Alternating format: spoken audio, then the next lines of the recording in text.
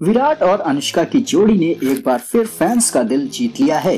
विराट कोहली के वर्कलोड को कम करने के लिए बीसीसीआई ने उन्हें विश्राम दिया है। ऐसे में विराट कोहली अपनी पत्नी अनुष्का शर्मा के साथ न्यूजीलैंड में क्वालिटी टाइम बिता रहे हैं। विराट कोहली ने इंस्टाग्राम पर पत्नी अनुष्का शर्मा के साथ एक बेहद ही खूबसूरत तस्वीर को शेयर किया है। इस तस्वीर में दोनों एक दूसरे को हक कर रहे हैं। दोनों की इस तस्वीर को सोशल मीडिया पर फैंस खूब पसंद कर रहे हैं। इससे पहले विराट ने प्राइवेट प्लेन में अनुष्का शर्मा के साथ यात्रा करने की एक तस्वीर को शेयर किया था।